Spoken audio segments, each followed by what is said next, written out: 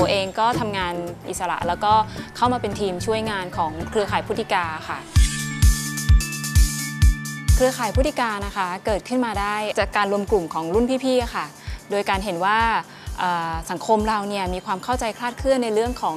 ศาสนธรรม หรือว่าศาสนาพุทธเนี่ยนะคะ เราจะทำยังไงให้คนในสังคมเนี่ยมีความเข้าใจโดยที่ประยุกต์ หรือว่าทำให้การเข้าใจศาสนาธรรมเนี่ยมันง่ายขึ้น เรามาจากพื้นฐานของบุญกริยาวัตถุ 10 ก็คือวิธีการทำบุญด้วยการทำทาน ศีลภาวนาต่างๆ เหล่านี้นะคะ ซึ่งข้อหนึ่งในการทำบุญ 10เนี่ยก็คือการเป็นอาสาช่วยเหลือผู้อื่นนะคะ ในข้อที่วัยาวัจจะหม่ซึ่งในข้อนี้เราเริ่มทำกับอาสาข้างเตียง ซึ่งให้อาสาเนี่ยไปดูแลผู้ป่วย ซึ่งสมาชิกในอาสาของเราคนหนึ่งเนี่ยค่ะเขาเเคยไปทำกิจกรรมเอ่ออาสาทำวิกผมอะค่ะให้กับผู้ป่วยมะเร็ง พอเขามาทำโครงการกับร่วมกับเราแล้วเนี่ยก็เลยมองว่า เอ๊ะงานตรงนี้มันก็คืองานอาสาเหมือนกัน เขาก็เลยชวนกับเพื่อนๆที่ทำกลุ่มจิตดีค่ะ ที่ทำเรื่องเกี่ยวกับเต้านม มาแจมกับโครงการของทำบุญของเราค่ะ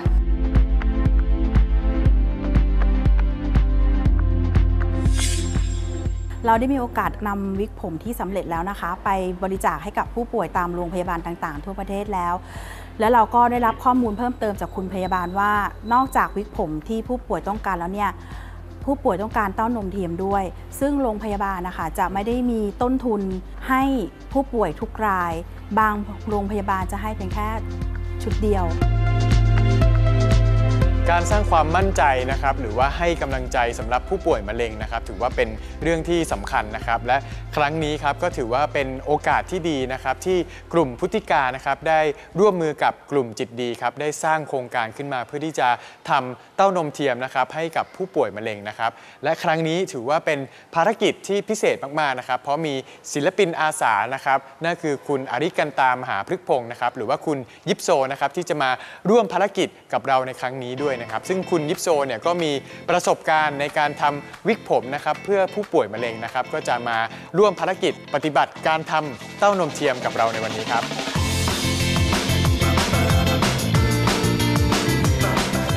ที่ยิปโซอริกันตาค่ะทำงานเป็นศิลปิน เล่นภาพยนตร์ เล่นละคร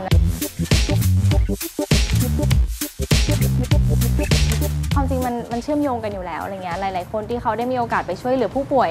ไม่ว่าจะเรื่องของวิกหรือของอะไรอย่างเงี้ยบางทีเราอยากทำหมวกให้เขาใช่ไหมเราอยากบริจาคผ้าพันบริจาคเหมือนกับหมวกผ้าไหม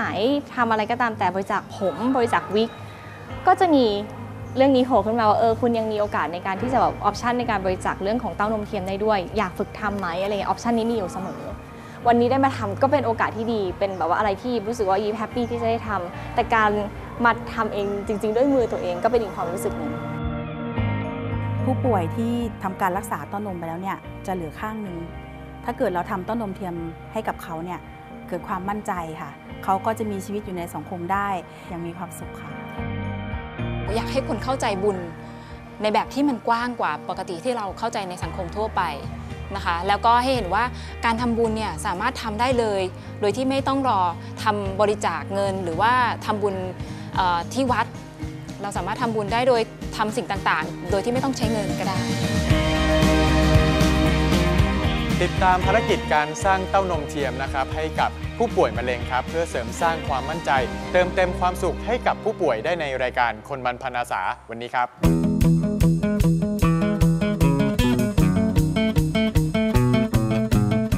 ตรงนี้ก็เป็นจุดลงทะเบียนนะครับ เรียกว่าเป็นจุด เริ่มต้นที่จะเริ่มปฏิบัติภารกิจในวันนี้นะครับ ขอโทษนะครับพี่พี่อะไรนะครับ ชื่อนกค่ะพี่นกพี่นกวันนี้ทราบข่าวมายังไงครับอ๋อใน Facebook ของพุทธิชาครับเล่าให้ฟังหน่อยว่าวันนี้ตั้งใจอยากจะมาทำในส่วนไหนครับ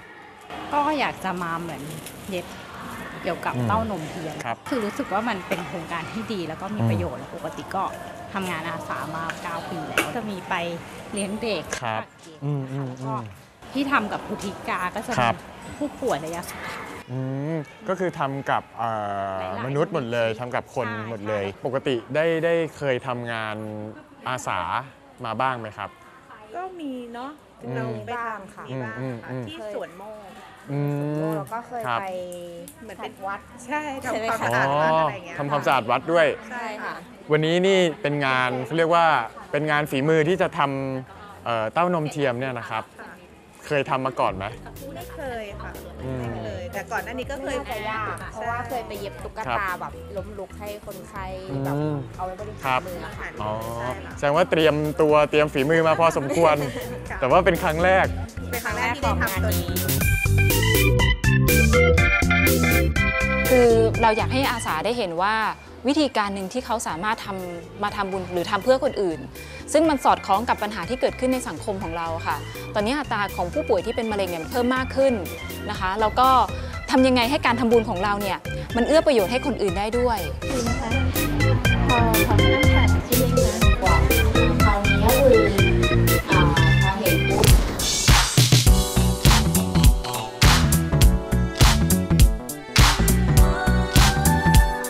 เต้านมเทียมเนี่ยค่ะจะมีอุปกรณ์ที่ใช้หลักๆเนี่ยสามสามสามชิ้นนะคะ อันแรกก็คือเต้านมเทียมสำเร็จที่เย็บมาเรียบร้อยแล้ว อันที่สองก็คือเม็ดพลาสติกบริสุทธิ์ ส่วนอันที่สามก็คือใยโพลีเอสเตอร์ นอกจากนั้นก็เป็นเข็มด้ายกรรไกรเนี่ยแหละค่ะ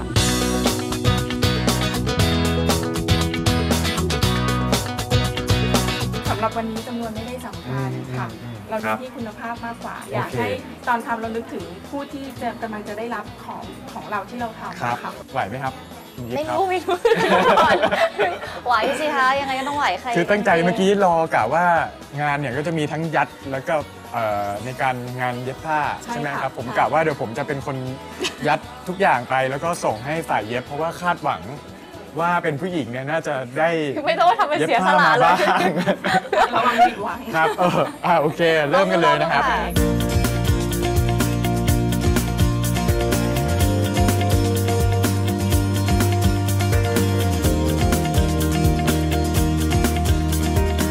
ขั้นตอนในการทำก็เริ่มจากเราจะมีใยโพลีเอสเตอร์นะคะสำเร็จที่เราตัดมาให้เรียบร้อยแล้วเนี่ยก็ฉีกออกเป็น2 2แผ่นนะคะ แผ่นหนึ่งเนี่ยเราจะฉีก ฉีกให้มันฟู เสร็จแล้วเนี่ยยัดลงไปที่ส่วนที่ต่ำที่สุดของเต้านมอะนะคะ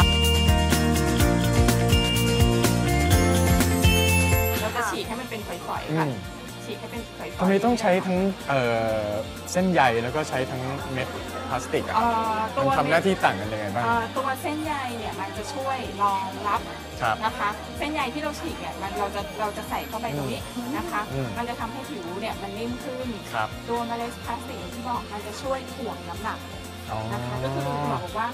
เอ่อจริงๆ มีคนเคยถามว่าเราไม่ใส่เมล็ดพลาสติกได้ไหมเพราะมันหนักอืมบอกว่าถ้าไม่ใส่เนี่ย โอกาสที่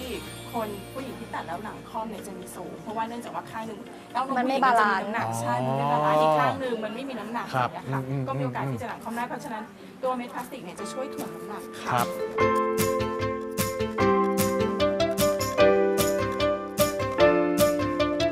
วันนี้คิดว่าจะทำได้สักกี่ชิ้นครับ ขั้นต่ำเลยต้องชิ้นหนึ่งก่อน ชิ้นหนึ่งก่อน ชิ้นหนึ่งก่อน มันยากตรงไหนยากตรงเย็บใช่ไหมเมื่อกี้ที่บอก น่าจะตอนยัด แล้วก็ตอนเกลี่ยให้มันตรงเท่ากันให้มันเป็นเป้าอืมอืมอืมอืมเอาละครับเป้าหมายภารกิจวันนี้ก็คือคนละหนึ่งชิ้นนะครับต้องได้ หนึ่งชิ้นต้องได้เป็นเป็นอย่างน้อยค่ะ นะครับ แต่ดูแล้วนี่ก็อาจจะใช้เวลาพอสมควร เพราะว่าอย่างที่บอกว่าอันนี้ก็คือเป็นงานปราณีตแล้วก็ไม่ได้ใช้ครั้งเดียว สามารถใช้นำไปซักนำไปใช้ได้อีก ต้องมีความทนทานพอสมควร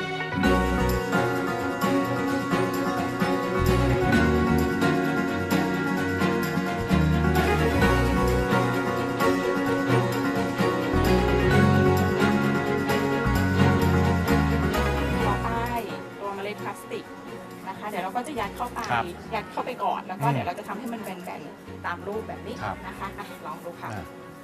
อ๋อจริง ๆ น้ำหนักก็คือมีผลสำคัญในเรื่องของการเดิน การเขาเรียกว่าหลักความบาลานซ์ของร่างกายด้วยใช่ไหมครับะอันนี้ที่เงียบคืองงหรือว่ามีสมาธิครับตั้งใจมากอ๋อตั้งใจมากโออยู่เคดีนะโอเคที่เห็นสุดยอดอย่างเงี้ยตั้งใจนะ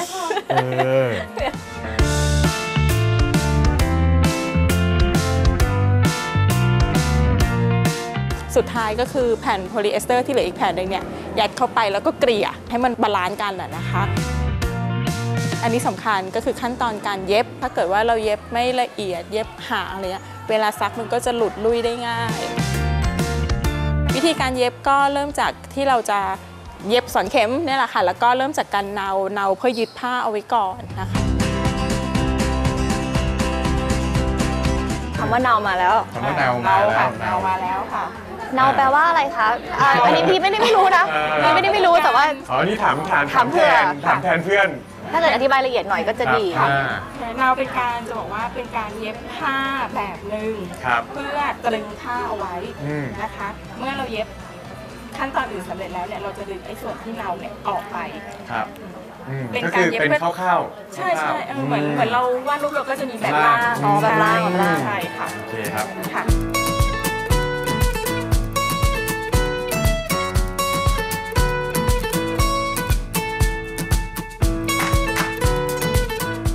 เริ่มเย็บโดยการแทงเข็มเข้าไป แล้วก็ซ่อนปมได้เอาไว้ แล้วก็ทีนี้ก็เริ่มจากการเย็บเย็บซ่อนได้นะคะ เย็บข้ามไปข้ามมาเนี่ยแหละค่ะ เย็บไปเรื่อยๆ แต่ว่าอย่างที่บอกว่าเย็บให้มันถี่ถี่ถี่ที่สุดเท่าที่จะถี่ได้อะนะ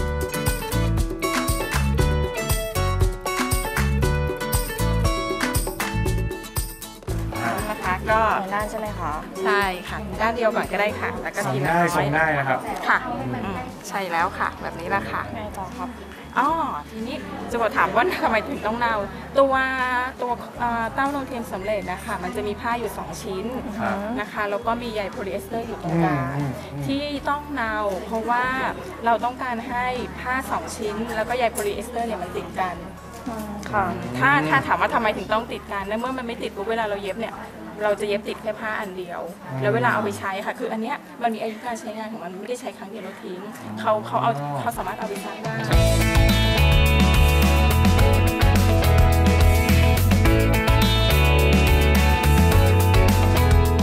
นี่ก็เป็นพี่เลี้ยงนะครับกำลังสอนเทคนิควิธีการเย็บ ซึ่งถือว่าเป็นการเย็บที่เป็นสิ่งที่สำคัญที่สุดที่จะทำให้เต้านมเทียมเนี่ยเรียกว่า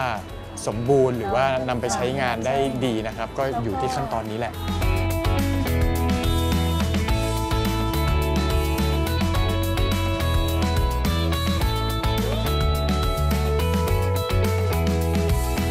อันนี้ถึงขั้นตอนไหนละ อันนี้ถึงขั้นตอนที่เราจะเย็บปิดแล้วค่ะอ๋อที่แต่ว่ายัดเสร็จเรียบร้อยแล้ว น้องบางคนเขาจะเนา เพื่อเป็นครับการป้องกันแต่คืออย่างของบุ้งถนัดเนี่ยครับที่จะเป็นอย่างนี้มากกว่าแล้วก็คือเย็บปิดอ๋อ พอเย็บปิดมันก็จะเป็นรูปทรงแบบเนี้ยค่ะครับ เพราะถ้าจับดูคือที่เขาต้องการให้ไม่มีรอยอะไรเลยอืมให้เรียบอืม เพราะว่าส่วนนี้จะคือจะสัมคือผัสสัมผัสกับผิวใช่ค่ะอ๋อถ้าถ้ามีรอยนิดนึงอาจจะแบบราคาผิวข่วนๆใช่อืมอืมค่ะ อืมอืม นนี้ถึงขั้นตอนไหนแล้วครับเสร็จแล้วค่ะ เสร็จแล้วเหรอเสร็จแล้วเสร็จแล้วโอ้โหค่ะอ๋อเนี่ยนี่เนี่ยค่ะไหนไหนเป็นไงเอ๊ะคะ โอ้โหผิดด้านอยู่เหรอคะฮะผิดด้าน ผิดด้านไหมโอ้ยได้อยู่เลย เป็สุนดไงยอคะด คือเมื่อกี้เราบอกว่าเวลาเวลา QC เราจะให้ดูฝีเข็มว่าห่างห่างเออขีก็ต้องเอามานะคะถูแล้วก็ใช่ไหมมาถู ใช่สัมผัสกับใต้ท้องแขนเราอะค่ะว่านี่เหรอถ้ามันเนียนแสดงว่าโอเคมอ๋อดีเลยเนี้ยขัดผิวดีเลยครับไม่ใช่ค่ะถามเจ้าตัวบ้างครับนี่เป็นโอ้โหสุดยอด ไม่ค่อยเลยอะเอออะแต่คนไม่อวด ได้ได้ได้ลองทำแล้วเหมือนกับที่คิดไว้ในตอนแรกไหมตอนแรกไม่ได้คิดอะไรไง แต่ว่าตอนแรกไม่คิดว่าตัวเองจะทำได้แต่ทำได้ไม่ดีเลยด้วยค่ะ เพราะว่าครับส่วนตัวเป็นคนที่ไม่ได้แบบ เป็นคือคนไม่ใช่แนวคนนี้ไม่ใช่คนอ่าไม่ไม่ค่อยมีประสบการณ์ในการแบบว่าได้ทำอะไรเรื่องเกี่ยวกับผ้าหรืออะไรอย่างเงี้ยถ้าคุณแม่อะไรเงี้ยเขาจะทำบ่อยกว่าอะจไเยริงๆน่าจะเป็นรุ่นรุ่นใหม่ ๆ น่าจะไม่ค่อยได้ทำอะไรแบบนี้เท่าไหร่เนาะแต่สนุกนะคะครัสบนุกมันคือมันสนุกมันเหมือนกับ พอเราได้เพ่งกับอะไรบางอย่างอะไรอย่างเงี้ยอืมเออมันค่อนข้างสนุกมากมันชาเลนจ์ด้วยอะเหมือนพี่พี่ยุ้ยบอกว่าอืมให้มันยิ่งเล็กยิ่งดี เราก็จะแบบอะไรอย่างเงี้ย เออ เราเตรียมอุปกรณ์มา 150 ชิ้น แต่ต้องขออภัยที่อุปกรณ์บางส่วนมันไม่เพียงพอ เห็นว่าได้ 106 ชิ้น ใช่ไหมคะสำหรับวันนี้ค่ะ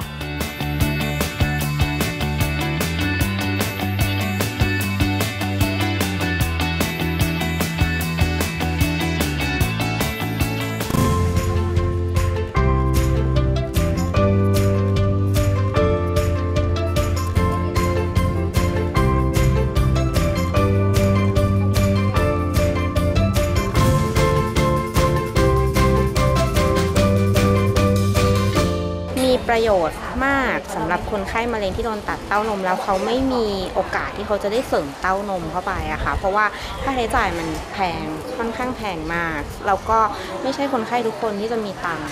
พอที่จะเหมือน support ได้ค่ะ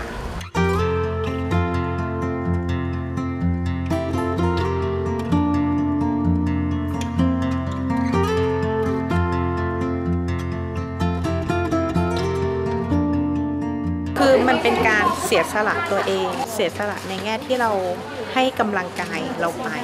โดยการเสียสละเนี้ยมันเป็นการที่เราไม่ได้หวังว่าเราจะไปเอาอะไรกลับคืนมา แม้แต่ความรู้สึกดีของผู้รับ เหมือนกับว่าเราทุ่มเทสิ่งที่เราพอจะแบ่งปันให้กับคนอื่นได้ บางครั้งเราเองอาจจะได้รับสิ่งอะไรกลับมาด้วย อย่างน้อยอย่างความรู้สึกดีที่เราได้รับจากเขา โดยที่เราไม่ได้มุ่งหวังว่าเขาจะต้องกลับมารู้สึกดีกับเรากลับมาขอบคุณเรา แต่เราทำให้เขาด้วยความรู้สึกดี นี่ยแหละพุ่งคิดว่ามันเป็นสิ่งที่เราได้รับมาแล้วส่วนหนึ่งด้วยซ้ำค่ะ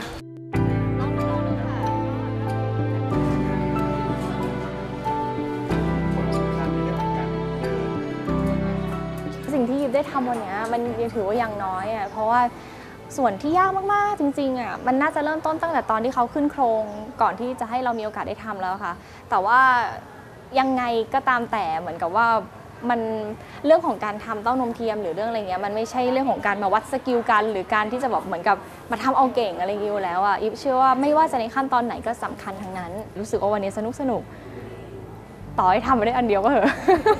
แต่ว่าก็สนุกอะสนุกดีค่ะมันท้าทายด้วยนะ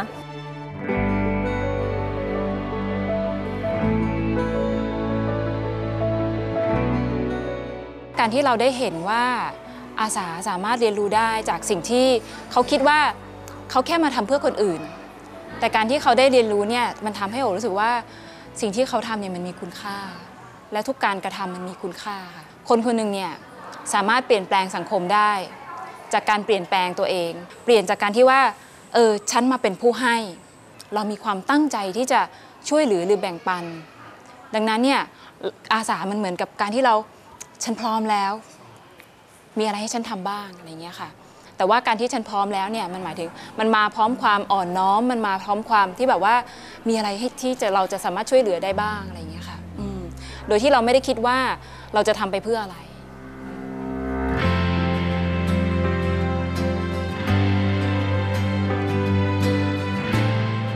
ถ้าเป็นประโยชน์ต่อตัวเองนะคะก็คือว่าเราได้ตัวเองได้ความเสียสละนะคะ คือ เราเอาเวลาว่างวันเสาร์อาทิตย์วันหยุดของเรามาทำมาทำงานจิตอาสาทำงานเพื่อคนอื่นนะคะ มันทำให้เรารู้สึกมีประโยชน์นะคะแล้วก็สำหรับต่อผู้อื่นหรือว่าต่อสังคมก็คือว่า มันทำให้เป็นการเอื้อเฟื้อเกื้อกูลกันไป ต่อยอดกันไปเรื่อยๆอะค่ะ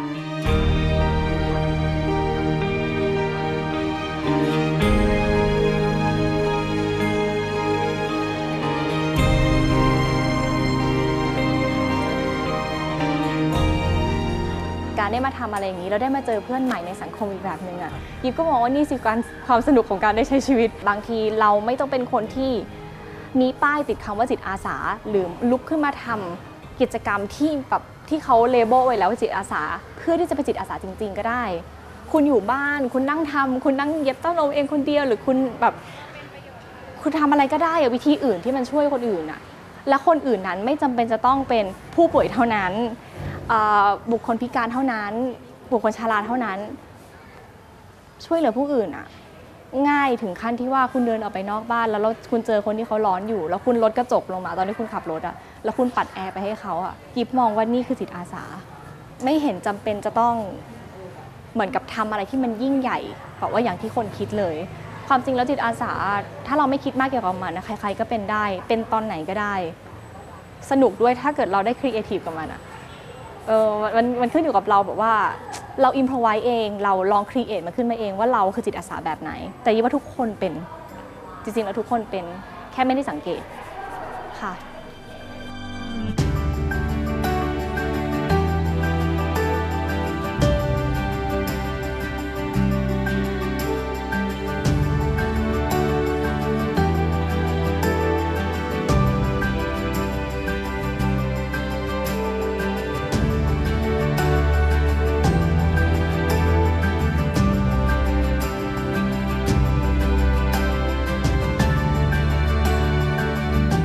เราได้เห็นขั้นตอนนะครับการทำเต้านมเทียมนะครับต้องบอกว่าเป็นงานละเอียดแล้วก็ไม่ได้ทำได้ง่ายๆนะครับและได้เห็นความตั้งใจนะครับของกลุ่มพุทธิกานะครับรวมถึงกลุ่มจิตดี และที่สำคัญนะครับน้องยิปโซนะครับรวมถึงอาสาสมัครต่างๆ ที่มาร่วมมือกันในวันนี้นะครับเรียกว่าใส่ทั้งความปราณีตทั้งความละเอียดนะครับและที่สำคัญครับความหวังดีให้กับผู้ป่วยนะครับถือว่าเป็นความประทับใจที่หาดูได้ยากครับ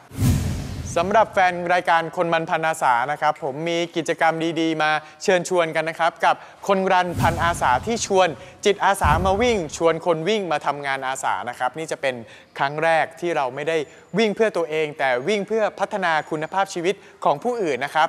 28 ตุลาคมนี้ครับ ที่คุ้งบางกระเจ้าจังหวัดสมุทรปราการนะครับ ติดตามรายละเอียดได้ทางแฟนเพจทาง Facebook คนมันพันอาสาแล้วเจอกันครับ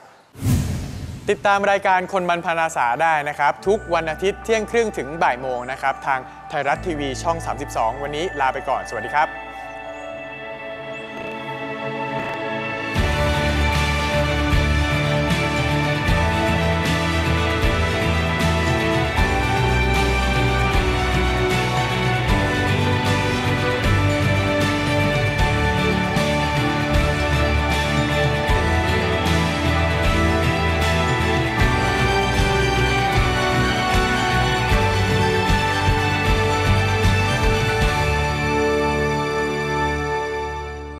อบคุณทุกท่านนะครับ ที่คลิกเข้ามาชมทาง YouTube ทีวีบุรพา Official นะครับ ก็ยังไงก็อย่าลืมติดตามกันนะครับ กด subscribe นะครับ และกดกระดิ่งครับ จะได้ไม่พลาดรายการดีๆ จากทางทีวีบุรพาครับ